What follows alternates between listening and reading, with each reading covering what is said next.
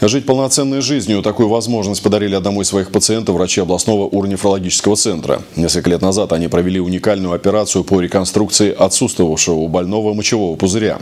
Результаты, как говорят специалисты, превзошли все ожидания. За прошедшее время у мужчины не возникло никаких осложнений. Более того, сейчас он задумывается о создании семьи, о чем раньше не мог и мечтать. Специфика операции требует регулярных обследований, на которые бывший пациент приезжает в Волжский. Во время одного из таких визитов с ним познакомился наш корреспондент Станислав Лопатин. Более пяти лет назад в уронефрологический центр в Волжском обратился житель одного из волгоградских сел, у которого с рождения экстрофия мочевого пузыря, другими словами, его отсутствие. За свою жизнь человек перенес несколько операций, но безуспешно.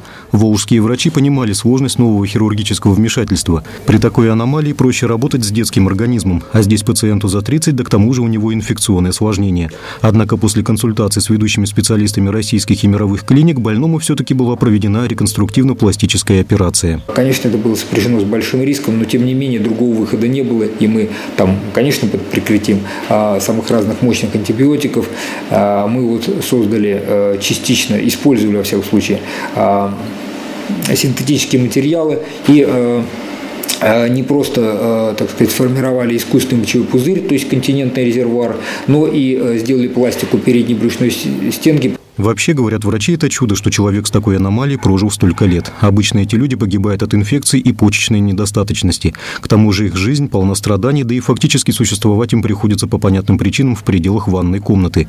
Для пациента, которому операцию сделали волжские врачи, теперь это все позади. Насколько сильно изменилась ваша жизнь? Намного изменилось. Изменилось в лучшую сторону. Раньше я плохо ходил, боли были адские.